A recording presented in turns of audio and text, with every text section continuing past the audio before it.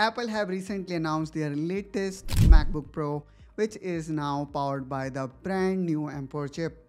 And ironically, this year we saw this chip being first launched with iPad, and then we saw the recently announced iMac, Mac Mini, and finally MacBook Pro. But how does it stack up against the previous generation of MacBook Pro model? Today we will dive in into some of key differences and performance upgrade and finally, uh, you know, questions everyone mind, should you upgrade or stick to what you have? Hey there everyone, my name is Preetham and you are watching Negitech. And in this video, we are discussing about the recent announcement of MacBook Pro models powered by their new M4 chips. And when I'm saying M4, um, I mean, they do have three variant, which is M4, M4 Pro, and then M4 Max. Even if we talk about M4, we also saw variations of M4, especially in case of iMac, iPad, Mac Mini. Um, it is quite confusing, I would say. And to avoid these kind of confusion, I have created InStore where you will see created list of handpick item. No matter whether you want to go for Mac or Windows, we have recommendation for all. You will find selected and shortlisted high rated product from laptop to desktop to PC component and accessories. I would say with the help of InStore, we want to make sure that you are getting maximum value for the price you pay. Now back to the video. Okay, so we were talking about this new M4 chip and uh, let me actually take you to my computer screen so that we can see these new laptops and their specs and let's see what are actually the new capability that they came up with. And there we go guys. Here we are in our computer screen. And you can see I already have open Apple website. Now let me click here on Mac and MacBook Pro. And surely we will see this MacBook Pro. And then nowadays they are much more focused on Apple intelligence and as we have seen this slide or I would say Apple intelligence things I would say these new M4 chips are more optimized for generative AI. And in case of this Apple Intelligence, personally, I didn't saw or got too much impressed by Apple AI or Apple Intelligence. And I would say the reason why uh, it is not that capable or popular because based on Apple, they want to take the user privacy very seriously and I really respect that they are focusing that much on users privacy. All right, let's have a look on these new MacBooks and then they will talk a lot uh, without quantifying it. So let me uh, quickly click here on tech specs and uh, also I would like to compare it. And here we go here. Let me choose this new baseline MacBook Pro, which is powered by M4 and then I would like to compare it with uh, M4 Pro or M4 Max and then this previous generation of MacBook Pro which was powered by this M3 chip. So um, I would say in terms of display, they are almost same. Um, still, you're gonna get similar aspect ratio, similar resolution and technology. If we talk about this M4 chip, I would have selected M3 here actually. So let me select uh, M3 powered MacBook Pro here. And then I'm gonna select M4 powered MacBook Pro and then let's select this Max one. So um, here you can see in terms of number of cores, now you're gonna have 10 cores instead of 8 cores which is really nice. And then um, GPU cores, I would say, are equal. And then um, neural cores that is responsible for AI.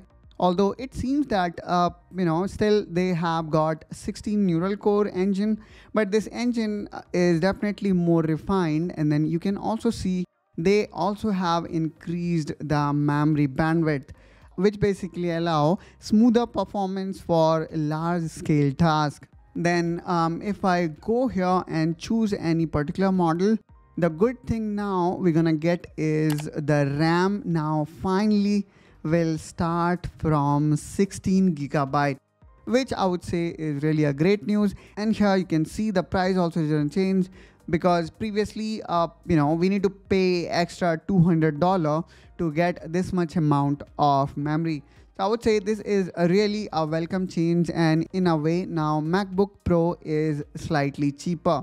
Not only that, we can also see in terms of battery life, uh, there is a slight improvement in battery life from, um, you know, the Apple is claiming from 22 hours to now it is 24 hour. Now let's talk more about key quantified improvement.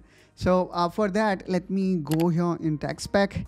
And if we go down here, you will see a one more improvement here. If you choose either M4 chip or M4 Max chip, you're gonna get first of all even higher bandwidth than M4 model. And here you can see it is even more than twice the bandwidth, okay? That will be utilized by large data model or let's say rendering apps and then um, we can obviously see the increment in GPU core. So uh, the base model have got only 10 GPU core. And then there are two variant of M4 chip, one with 12 core CPU and 16 core GPU and another one with 14 core CPU with 20 core GPU. Even in case of I.O. with M4, you're going to get three Thunderbolt 4 ports with support for charging, display port, and then Thunderbolt 4 port have a very decent data transfer rate of 40 Gbps. However, when somebody choose M4 Pro and M4 Max, they're going to get even faster and how much fast? Three times faster than the previous generation of Thunderbolt, which was Thunderbolt 4. So I would say we still need to see what kind of device going to utilize this kind of bandwidth or this kind of speed but uh, definitely uh, we will see it in terms of the kind of external display these devices can now power up. So um, if we talk about the display support here we can see now even better display support. These both m4 and m4 pro now can power external display with up to 6k resolution at 60 hertz over thunderbolt and one external display. Okay which I would say is really nice thing to have. And I would say 6K resolution is rare to see until unless you are buying something, you know, custom monitor or, you know, Apple monitor. So 6K resolution is not that common yeah, there are certain monitor, let's say Apple monitor, they come up with a resolution greater than 4K. But these days, 4K resolution is more popular. And then these ports can basically support a 4K monitor with up to whopping 144 Hz over HDMI, which I would say is really nice thing to have. And I'm pretty sure that they are basically using HDMI 2.1 and then here we can also see one external display can be supported at 8K resolution at 60 Hertz or one external display at 4K resolution at 240 Hertz. So if we talk about let's say 2K then it would be even higher uh, refresh rate. So I would say now these MacBook Pros are so powerful that they can handle any kind of monitor with ease. Now let's talk about other uh, notable changes for example, uh, if I talk specifically of their the most powerful chip, which is M4 Max, now it offers even higher bandwidth of 512 Gbps, which is like 1.3 or 1.28 times higher than um, the M1 Max chip, which had a memory bandwidth of 400 Gbps. So uh, for sure, we are seeing a slight improvement here and there.